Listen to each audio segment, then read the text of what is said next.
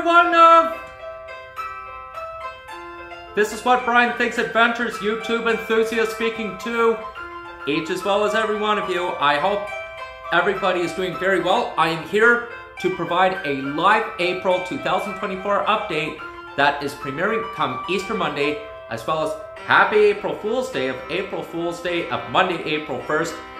And I'm here to talk about the amazing accomplishment of my second year, second season of Special Olympics bowling and the amazing award as well. And plus, we got some Frank Mills, Peter Piper music playing right now. So here we go.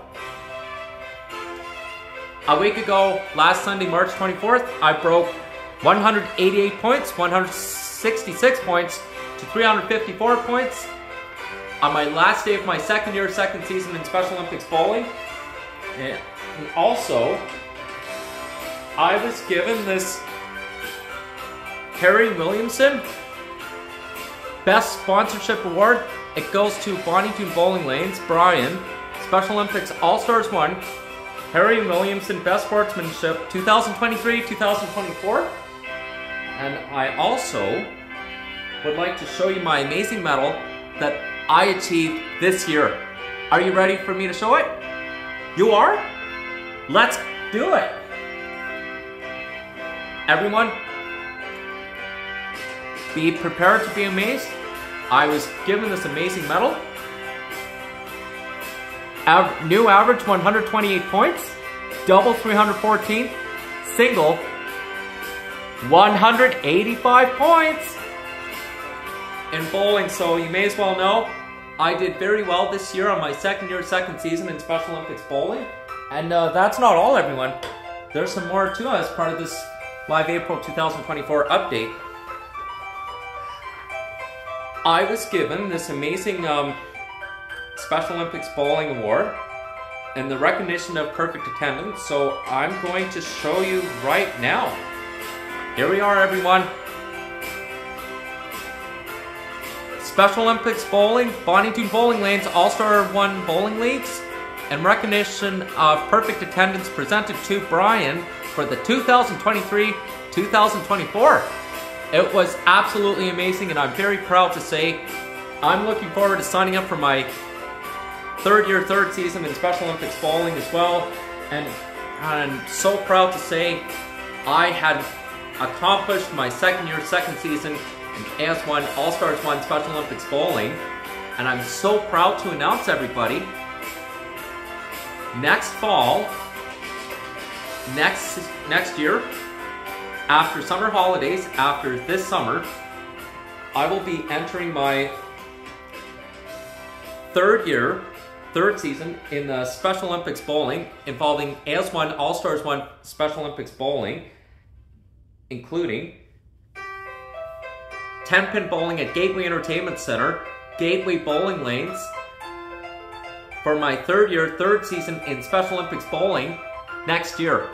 In fact, you may as well want to know, I'm very proud to announce my team, Evan, Kellen, Blake and I, the four of us, we did remarkably very well on my second year, second season in All-Stars 1 AS1 Special Olympics Bowling. And I'm so very excited to tell every one of you, I am qualifying for my second, for my third year third season in Special Olympics bowling come next fall at the start of next year in the 2024-2025 Special Olympics bowling season, as well as um, my fourth season in the 2025-2026 Special Olympics bowling season, involving my fifth season in the 2026-2027 Special Olympics bowling season. So you may as well know I am very proud to say I worked very hard for this amazing Bonnie Doon Bowling Lanes Harry Williamson Best Sportsman presented to me. Our coaches um, were very impressed how well I performed and this is one of the best awards of all and I'm so excited to put this on my wall in my room so it's quite the achievement to you know how hard I had to work to win it and also, you may as well know, this year I had gone past my average of 109 points My average this year is 128 points, so this is quite the improvement I made this year, everyone. For those of you who would like to know, I am so excited to get ready for the Special Olympics Bowl-a-thon Saturday, April 13th in less than uh, two weeks, in about um, uh, 12 days time from now. So lots of excitement is up in the air. And for those of you who would like to hear, I have been uh, putting in some intensive and amazing extra bowling practices in between my work at Loblaw City Market in the Ice District, and also shifting with 5 pin and 10 pin bowling for extra bowling practices, and I'm definitely, definitely going to do some 5 pin and 10 pin, 10 pin bowling practices to get ready for my third year, third season in Special Olympics bowling next fall for the 2024-2025 Special Olympics bowling season. I'm so excited, everyone! Woo! It's gonna be the best thing that's gonna happen too. Plus, they putting some music in the background for this live April 2024 update with me getting in the groove. It's Peter Piper. Yeah, I'm gonna be rocking the Special Olympics Bowl-a-thon Tournament Fundraiser on Saturday, April 13th after this Easter Monday, April Fool's Day in 12 days time. Stay tuned everyone, and for those of you who would like to hear, it has been quite the achievement doing the 5 pin and 10 pin in between um, bowling practices.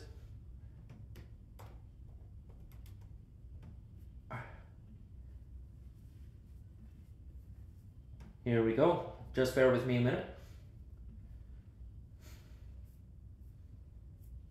And I'm just putting on some music right now.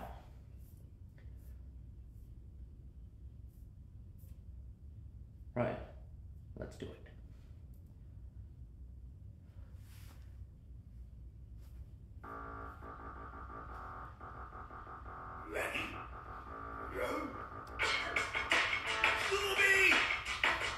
So for those of you who would like to hear, I am also excited to tell each as well as every one of you. I have been building my YouTube collection for a very long time and have been a YouTube enthusiast since nine years ago in 2015. And I have been taking my YouTube channel in between my work at Loblaw City Market and Ice District, between my college schedules in NAIT as well as MacEwan University, including um, before and after attending the open house at NorQuest College in March of last month. But aside from all this, I'm proud to say, everyone, I look forward to doing extremely well on my third year, third season in Special Olympics bowling involving AS1 All-Stars 1 5-pin Special Olympics bowling at Bonnie Doon Bowling Lanes again next fall, next year, including 10-pin bowling at the Gateway Entertainment Center, Gateway Bowling Lanes as I move towards my third year, third season in Special Olympics bowling next year, next fall, come the 2024-2025 Special Olympics bowling season. For those of you who would like to hear, I am so proud to say with this amazing medal, I'm gonna wear this on my neck and sorry. So with this amazing achievement I did this year in Special Olympics bowling, everyone, I did an average 128 points double 314, single 185 points. So what an achievement I did this year, everyone.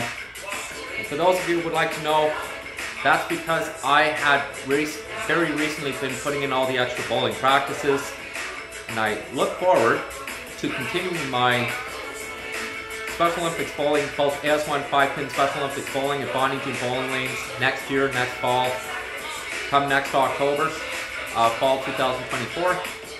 And also with 10 pin bowling at Gateway Entertainment Center, Gateway Bowling Lanes, as I move towards my third year, third season in Special Olympics bowling.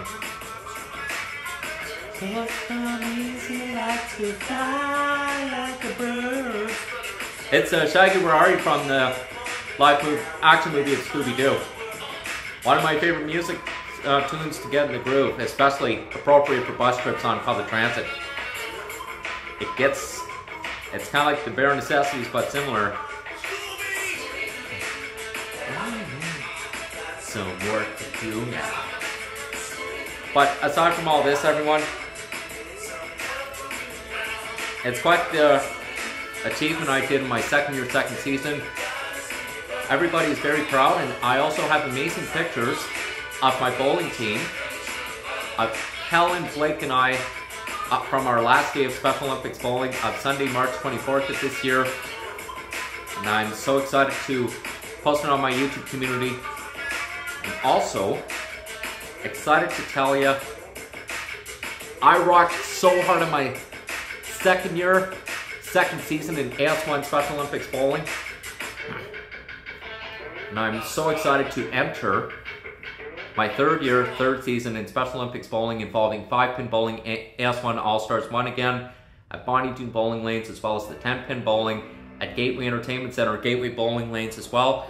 I have been putting in some extremely but amazing hard work with all those bowling practices and the perseverance has been really been paying off and I'm definitely going to go above and beyond as I move towards my third season in Special Olympics bowling for my third year Come the 2024-25 Special Olympics bowling season. Stay tuned, everyone. And now we're going to hear the bare necessities.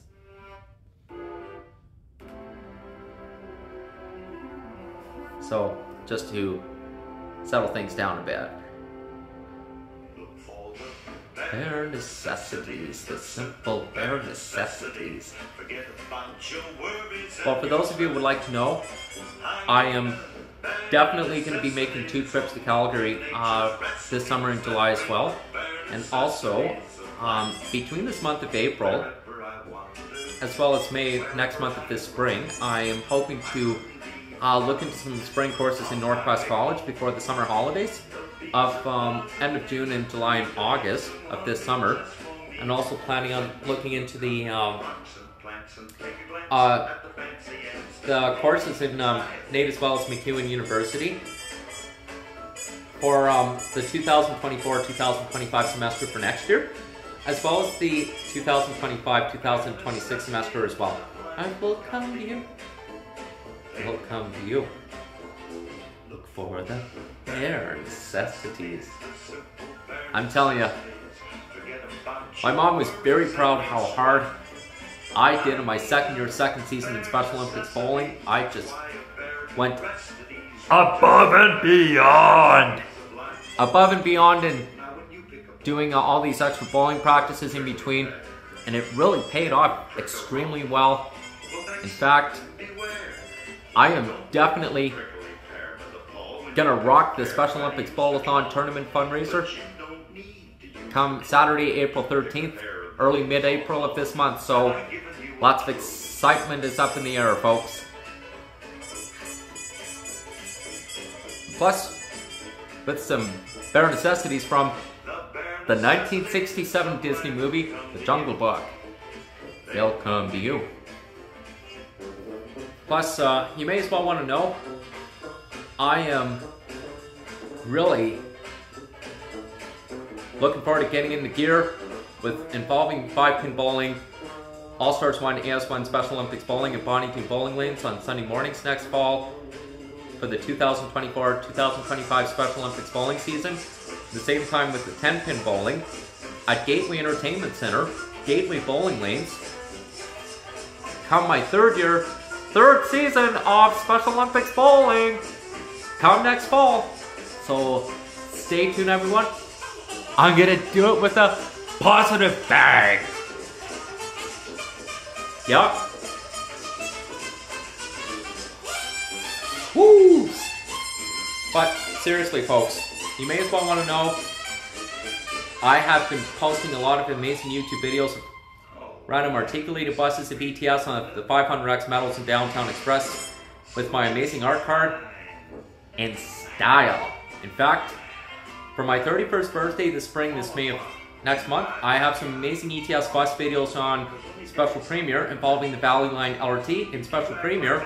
Stay tuned for that for my 31st birthday come Sunday, May 12th next month, including King of the Hill of Hank and the Great Glass Elevator that can't be found out, you can live without, then go along, not thinking about it, and tell you something true. Necessities. I'm telling you, if you ever want to try to do some YouTube public transit vlogs like me, I would suggest some familiar routes that I know and love going to. But seriously, for those of you would love to know is that Evan, Callan, Blake, and I, the four of us, did very well in Special Olympics bowling this year. And because of that, we worked so hard for this amazing Harry Williamson Best Sportsmanship Award.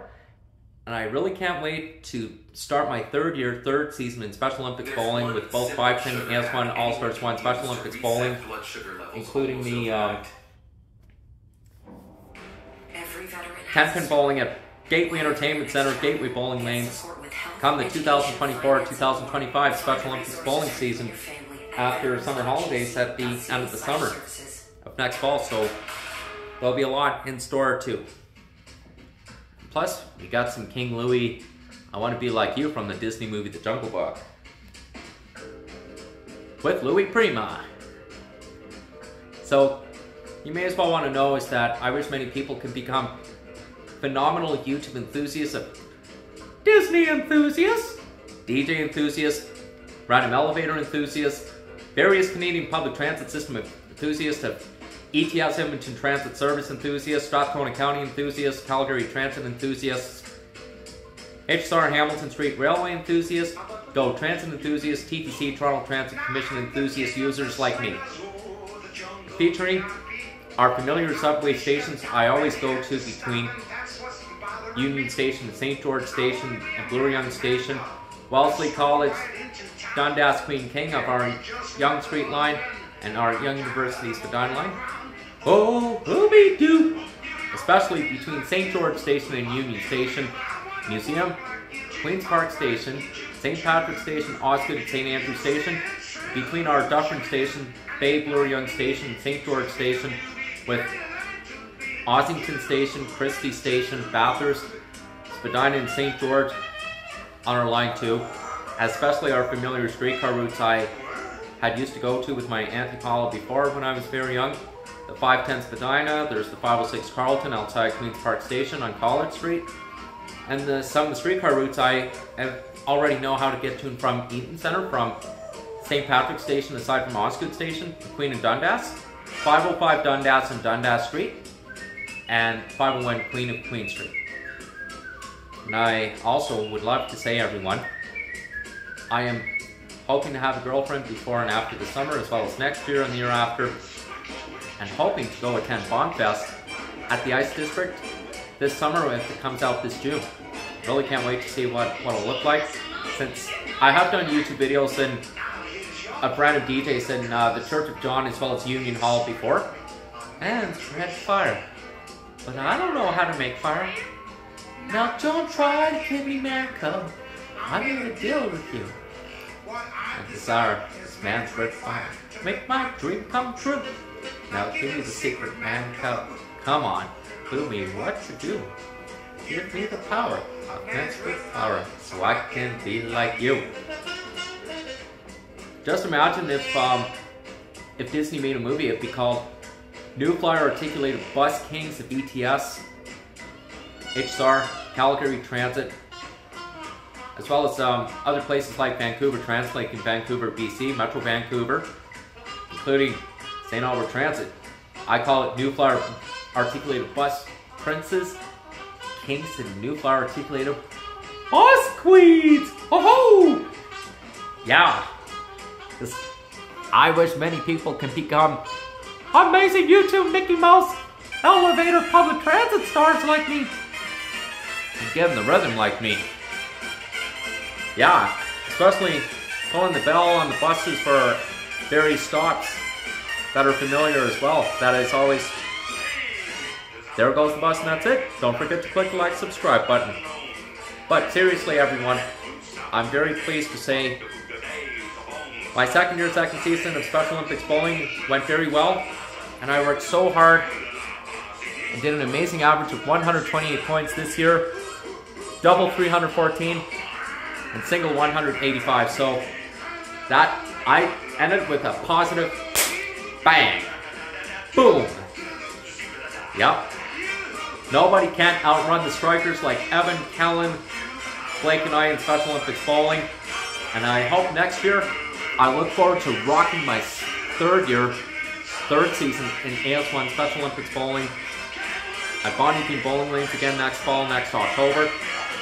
In the 2024-2025 Special Olympics bowling season, as I move towards my third year, third season in Special Olympics bowling involving five-team bowling AS1 at Bonnie Bowling Lanes, including the Gateway Bowling Lanes Gateway Entertainment Center, with 10-pin bowling involved. Man, I gotta say, I sure know how to rock. But enough with the music, everyone. I would like to say, on the positive note, I have been putting in some extreme bowling practices and practicing shifting back and forth with 5 pin and 10 pin quite a bit. And as mentioned, um, with the amazing hard work and perseverances have been paying off. I am so really excited to tell you, but the proudest thing of all is that I worked so hard and I did three strikes at the start of February uh, two months ago involving 185 points and then March of last month, um, three, four weeks ago, 170 points, 144 points. So very impressive displays I've made this year. In fact, I really can't wait to do well as we move towards the Special Olympics Bowlathon, Special Olympics Bowling Tournament uh, fundraiser at Bonnie Doon Bowling Lanes come Saturday, April 13th as well. In fact, you may as well want to hear that was one remarkable display I rocked. In fact, I'm so thrilled to tell you, before the start of spring break, I made some amazing YouTube videos of scenes from Scooby-Doo, Thomas the Tank Engine, Thomas and Friends that are all on YouTube, including the music videos, the sing-alongs, so so this way for the students and teachers getting off school of LOI parents, as well as other schools going on too.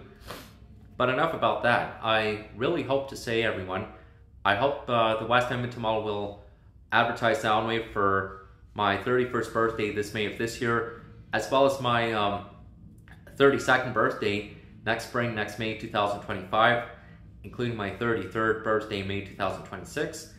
But the positive goal this year that I hope this year on my travels to uh, Hamilton, my old place in Ontario on visits, I'll be able to make 4K YouTube videos of our HSR buses up and down the south side, east-west Hamilton Mountain Escarpment areas again, especially the downtown or Hamilton GO Transit Center or GO station.